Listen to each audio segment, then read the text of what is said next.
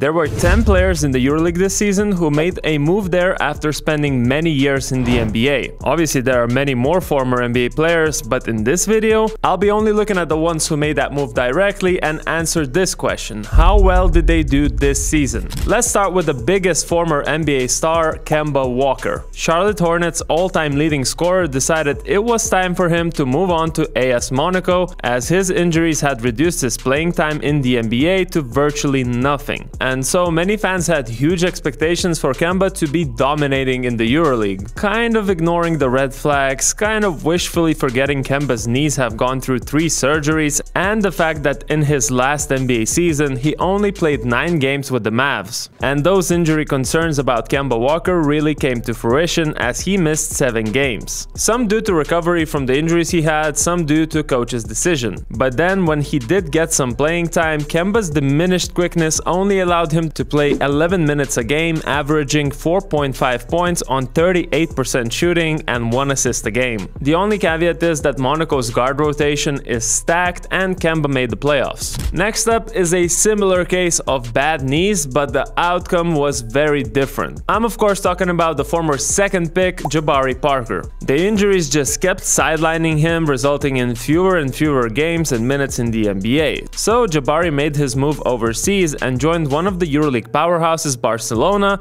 where so far he's been balling way above expectations. 10 points and 4 rebounds might not sound like a lot to NBA fans, but EuroLeague stats are always a bit lower, and in general, it isn't the main metric players are evaluated on. Jabari has been one of their go-to guys when Barca need a bucket, and he's been successful with it. Plus, his team also had a great season, and Jabari, like Kemba, made the playoffs. Barcelona was a destination for another long-time NBA player, Ricky Rubio. Rubio's been dealing with mental health issues ever since his mother passed away, and staying away from home in the US while getting traded left and right was not the situation he wanted to stay in. Ricky actually played for Barcelona when he was 19, right before getting drafted to the NBA. After returning in the 8 regular season games, Ricky was averaging 5 points on 30% shooting, but was dishing out 4 assists a game. So while he's definitely not dominating in his first season back, we have to remember that Ricky hadn't played basketball for about a year since he joined this team in March.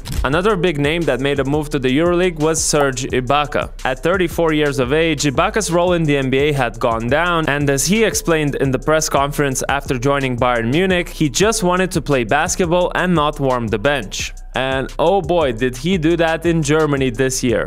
12.5 points, 7 rebounds and 1.3 blocks a game, making him one of the most successful ex-NBA players to play in the EuroLeague this season. Perhaps the fact that Ibaka already had European experience and is a veteran of the game really helped him to adjust quickly. Regardless, Ibaka's contribution wasn't enough and Bayern Munich finished outside of playoffs this year. Before I move on, a quick shout out to Hostinger, your all-in-one shop regarding websites. Hostinger provides not only hosting services but also has a website builder that's powered by AI. Instead of spending hours learning to code or using unoriginal templates, you can just type in a text prompt and customize a website from scratch in minutes. Use our code BNEWS10 and get 10% off of all hosting plans. I promise this is the last one from Barcelona, one of the Hernangomez brothers, Willy. After getting inconsistent minutes in New Orleans during his last season, Willy decided that the 2022 Eurobasket MVP probably deserves a little bit more. So he came to Barca, the only difference from Rubio being that he had played for their rivals Real Madrid before the NBA. Willy's season has been on and off, mostly due to his teammate Jan Vesely being so dominant, but regardless, he managed to put up 11 points and 5 rebounds in 16 minutes. Okay, so what about his brother Juancho, aka Bo Cruz?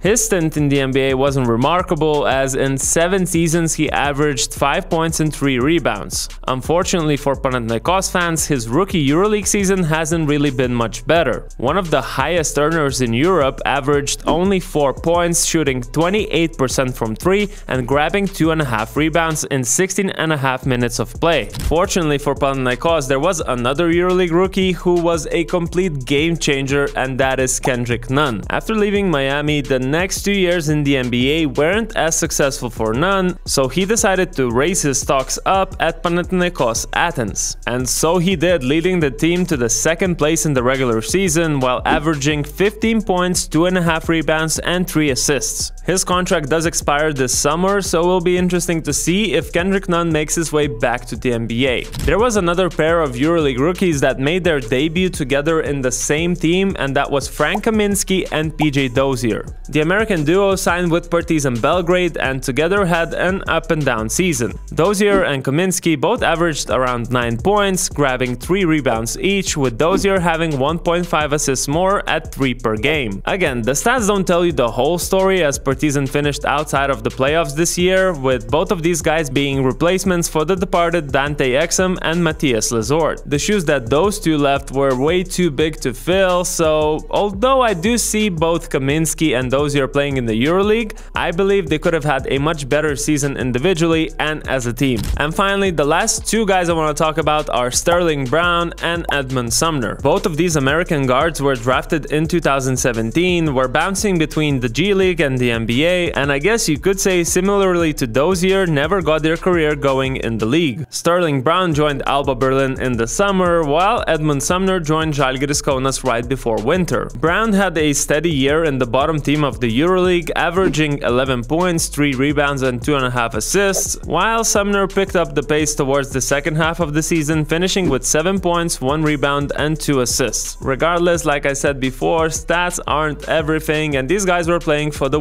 teams. So that's the recap of how this season's ex-NBA signings are doing in the EuroLeague. Did anyone in particular surprise you? If so, let me know in the comments below. As usual, subscribe, hit that like button, and I'll see you in the next one.